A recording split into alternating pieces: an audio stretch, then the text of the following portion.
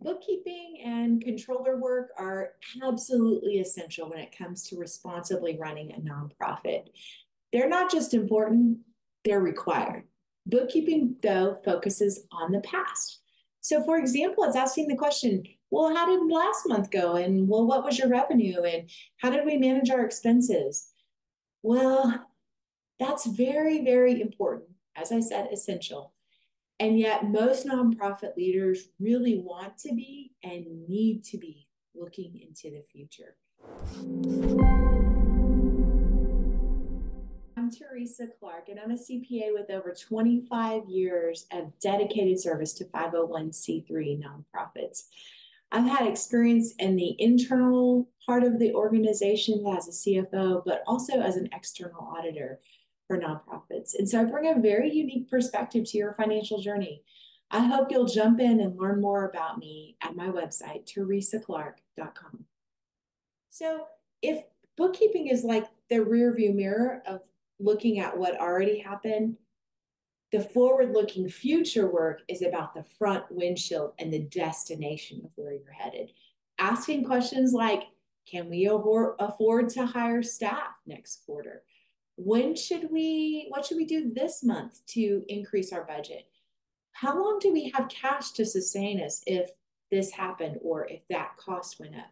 Well the answers to those questions really set goals and strategic initiatives and they relate to your sustainability. And without clear answers what i've found is that nonprofits start making decisions that are based on gut instincts that don't lead to where they want to go or they get paralyzed by being in the unknown. Both of those situations are detrimental to your effectiveness. And so nonprofits realize they need help. They need to start looking forward, but they are facing a challenge. And that challenge to having this financial um, CFO, really a chief financial officer, and the, the, the, the kind of reasons that they don't or the challenges that they don't go on and, and hire this position is that number one, they don't need them full time. Or number two, hiring someone like this part time costs more than what the organization can afford. So that's where a fractional CFO comes in. It's an expert in the guide of finances, yet at a fraction of the time and the pay of what it would otherwise cost a nonprofit.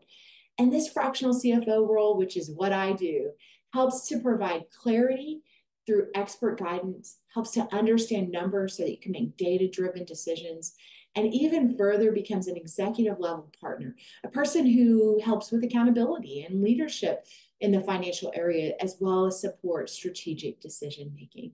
So if your nonprofit is struggling with clarity in the finances and needs that strategic level leadership, I want to invite you to consider the benefits of a fractional CFO again, that's what I do. And I'd love to explore if maybe I could be a help to your organization to help you thrive in this time.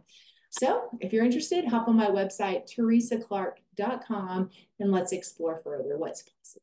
See you next time.